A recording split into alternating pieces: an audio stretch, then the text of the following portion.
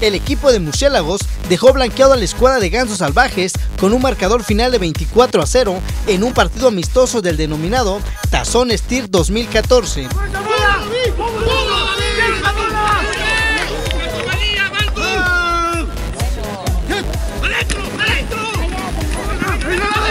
El clásico oaxaqueño fue un duelo de defensivas donde Murciélagos doblegó a Gansos Salvajes, quienes se preparan para la incursión en la categoría intermedia de la Organización Nacional Estudiantil de Fútbol Americano.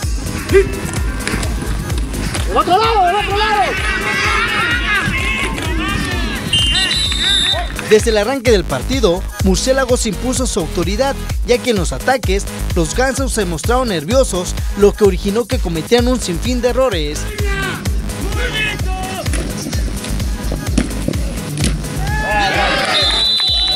Final, Murciélago se quedó con la victoria en el clásico oaxaqueño y los dos equipos mostraron su nivel con el que disputarán el campeonato de la ONEFA.